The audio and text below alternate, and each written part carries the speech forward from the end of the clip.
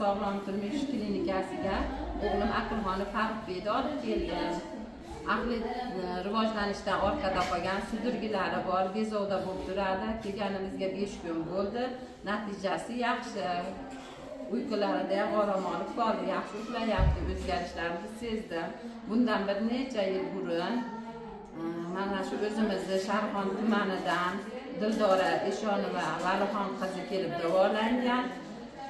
Yaxshi bo'lib ketdi. Mana katta bo'ldi ukasi turmushga chiqdi ikkita bolali bo'ldi.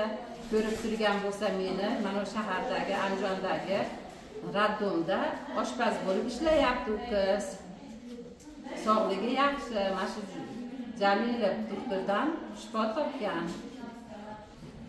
Sog'lom turmush klinikasini bosh vrachi shukurullo jalilovga o'z minnatdorchiligimizni bildiramiz. Mana shu yerda ishlayotgan hamshiralar barcha xodimlarni ham tanijonlari sog' bo'lsin ishlarida omad tilayman sog' salomat bo'lsin.